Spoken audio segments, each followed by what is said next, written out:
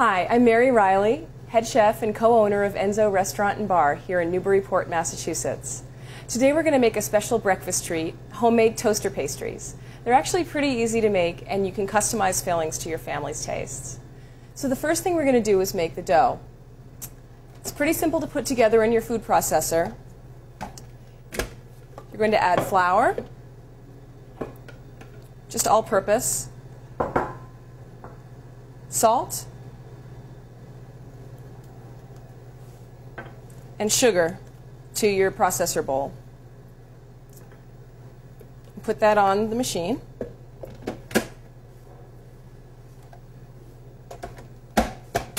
And just pulse that together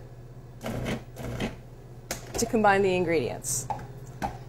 Then you're going to take butter, best if it's cold, and cut into smaller cubes and add that to the mixer bowl. Do your best to scatter the little pieces around on the flour just so they get evenly distributed. Then, in a small bowl, you're going to whisk together milk and one large egg.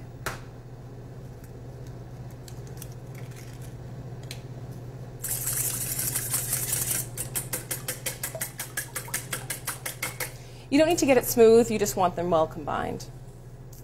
Now back to the processor. You're going to pulse the processor until the butter is cut into small pieces about the size of a pea.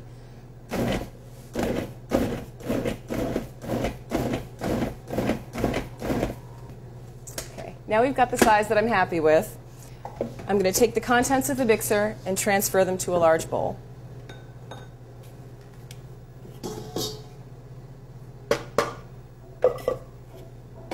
And now you'll have a lot of, of smaller pieces, about pea sized. Then take the uh, egg milk mixture and add that to the bowl. And with a spatula, you're just going to stir the liquid into the flour butter mixture until it's well combined. So now my dough has just started to come together. It's a little shaggy, which is just fine. And so what I'm going to do is take this and transfer it to a piece of plastic wrap. So the dough's pretty loose. Don't be alarmed.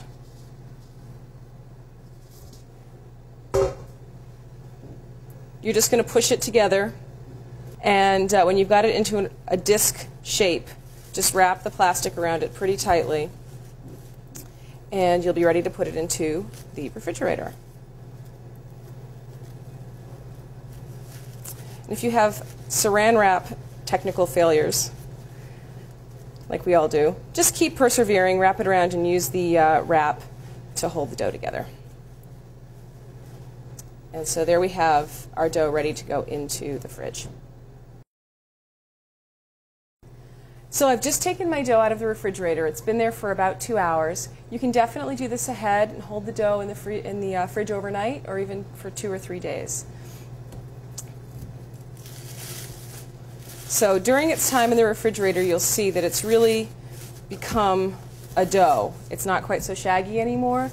The moisture in the dough has, has um, sort of come together and we're a little more evenly hydrated. I'm going to roll this out on a floured surface. And um, we're going to do our best to maintain a rectangular shape. I know that doesn't always happen. So I've got a bench knife here to help me keep the dough in the shape I want for uh, the final product.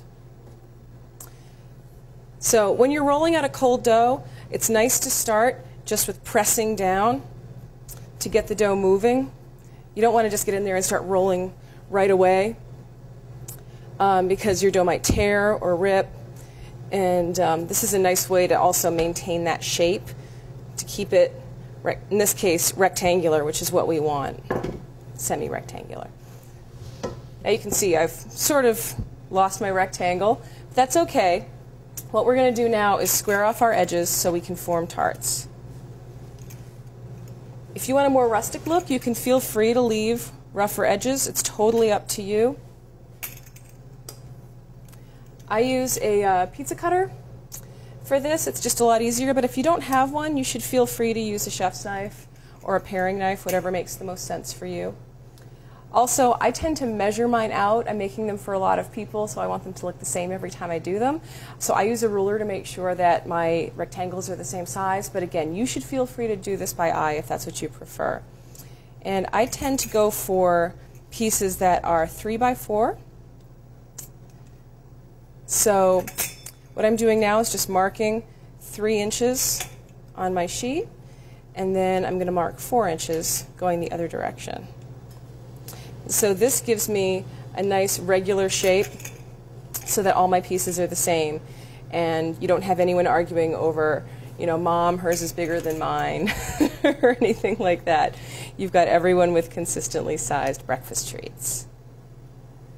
So now I'm just using my pizza wheel again to cut and I have my rectangles. I also have a little space left here because I have gotten myself nine pieces. So what I'm going to do is just cut one more out of this side here to give me an even 10 pieces. I'm going to take, in this case, jam. This is blackberry jam. Um, you should feel free to use anything your family likes or you like. Um, Nutella in these is just great. Um, or you can make, uh, you can use chocolate sauce, you can use fresh fruit. Um, I've also made savory versions where I'll put in um, goat cheese and a little ham. So you've got a lot of different options. Once you've rolled out the dough, there's nothing that says you can't make different ones, uh, you know, have a real variety in your flavors. So I do need to make an egg wash. And so to do that, I'm just, just taking you know, a whole egg, putting it in a bowl, and giving it a good whisk.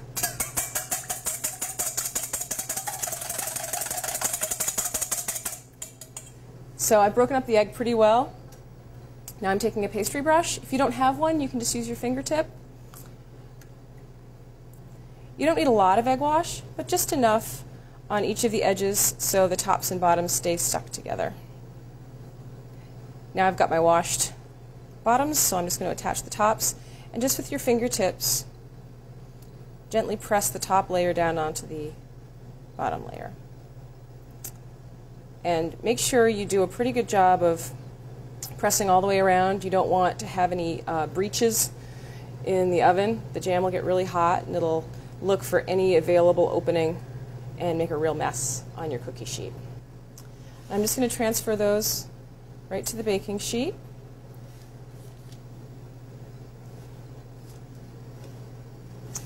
Then the last step, to make them look semi-authentic, um, you're going to take a fork and just pierce the top. Also to create a uh, opening for steam to get out so they don't puff up and balloon. You want them to stay flat. And then you're going to crimp with your fork. Just hold your fork like that and crimp the edges of the pastries. Again, to make sure that your sides stay closed and nothing comes squirting out in that hot oven. Um, and I give them a final coat of egg wash just so they gloss up in the oven. So now I'm going to put these in the refrigerator to chill for about half an hour. In the meantime, I'm going to preheat my oven to 350 and uh, then I'll bake them. They'll take about 20 to 25 minutes. I want them nice golden brown and crunchy. Pastries have been baking for about 25 minutes and I've taken them out of the oven. I like to serve them just by themselves. You might want to use a little sprinkle of powdered sugar or maybe even a drizzle of chocolate syrup or some icing. But uh, I think that you'd agree that most folks would be thrilled to wake up to those uh, to, for breakfast or even to have them for an afternoon snack.